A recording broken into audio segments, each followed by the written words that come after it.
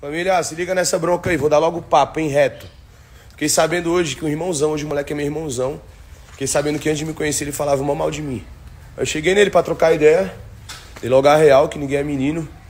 E ele falou que antes de me conhecer ele não gostava de mim. Aí me gerou uma dúvida na cabeça, né? Como é que não me conhecia e não gostava de mim? É o que eu vejo na rua aí.